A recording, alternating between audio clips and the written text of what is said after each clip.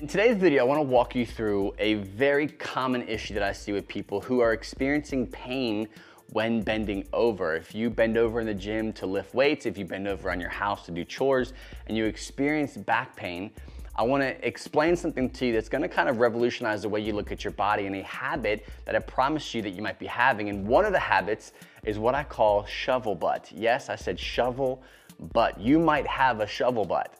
So today we're gonna fix the shovel butt and give you a better position so that your back doesn't hurt when bending over. Now, if you've been trying to navigate chronic back pain or life post-surgery for a while and you have an underlying sensitivity that you can't seem to shake, yes, you might feel better after exercising, but you just can't get to the bottom or the root of the issue. I wanna share a really cool resource that I call my back pain workshop. You can get it at fitnessforbackpain.com forward slash back pain workshop. It's a wealth of knowledge for anyone who's trying to find the best first steps and gaining more control over what they can actually control when it comes to getting lasting relief. Not short term stretches and ice packs and over the counter medicine. I mean, actionable things that you can do right now that you're already doing, just making them actually better that are gonna revolutionize the way you experience pain forever. You can grab that again at fitnessforbackpain.com forward slash back pain workshop. All right, so when you're dealing with back pain when it comes to bending over, one of the best things and first areas I like to focus on with people is this idea between bow versus canister. One of these positions creates what I mentioned earlier as shovel butt, the other one creates a good, neutral, pain-free position and a strong foundation to lift and do things like chores from. Now, the default issue that I see, and, and I was actually guilty of creating this habit early on in my own personal training career, is this chest out, butt out idea, or also known as the bow version of the bow versus canister. So the chest out, butt out cue was simply like if you were doing a deadlift or a bent over row or a squat, I would tell them, hey, chest out, butt out. Bring your chest out and stick your butt out. And what happens is, I would take them from this neutral position, and we have this habit, everyone does this now for some reason, is we go from this neutral position, which is a good position, instead of just hinging from there, what we do is we bring our chest out and we shovel butt our butt back. So we kind of scoop our butt back, creating this shovel effect in our butt, which we have to stop doing. Don't do the shovel butt, okay? What you're gonna do is what I call the canister position. This is a habit that you have to start paying more attention to if you want to experience less pain from bending over. To do the canister well, it's just about position. And then once you get into position, you practice moving and bending over from there. Great way to do this is in a non-threatening environment. So don't go try max out on deadlift or squatting when trying to practice this. Do this right at home. So the canister essentially is from the pelvic floor to the base of the neck, right? So you're gonna bring the pelvic floor on. Whenever I talk about the pelvic floor, we're talking about engaging it and bracing it as kind of like the, the bottom part of our core brace. We're gonna start with a quick breath out what that's gonna do is gonna engage everything in a standing neutral position.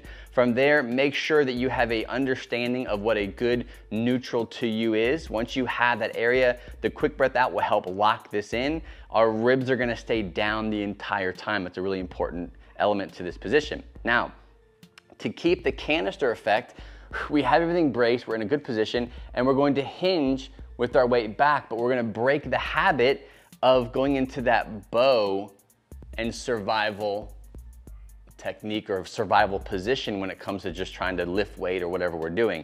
The habit of getting out of this canister is why so many people have so much pain when bending over. So a really cool way of doing this is just going very, very slow, right? Get into a good position, whether it's in front of a mirror or you can just kind of go off of feel, but I always encourage people to kind of do it in front of a mirror. So, cause you're probably used to being in this position here, and you have to see and feel what these two, um, what, these, what this position feels like.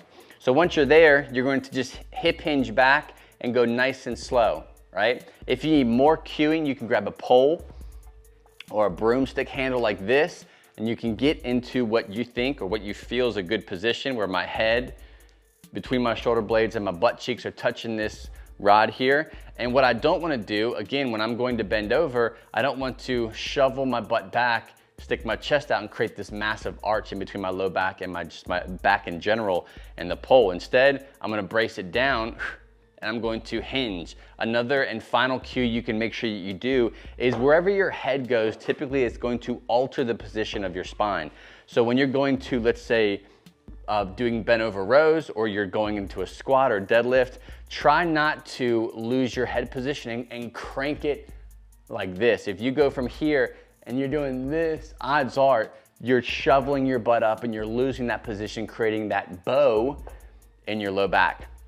So remember, it's all about position, practice what it looks like, practice what it feels like, use cues to get out of that bow position, put you into a more of a canister position. I promise you, your low back's gonna thank you for it. At one point in your life, you had a shovel butt. So hopefully after this video, you've seen how to change it, how to make sure that you don't have the issue of being in this bow can or the bow position versus the canister position, and what small tweaks you can make to just your daily practice of chores and things around the house to also being in the gym that will maximize your ability to bend over and create a habit of bending without creating more pain in your body. Make sure you go to fitnessforbackpain.com forward slash back pain workshop for that free guide. It's my best first step when it comes to navigating pain. If you have any kind of underlying sensitivity and you're not sure where to start, fitnessforbackpain.com forward slash back pain workshop is your number one first step.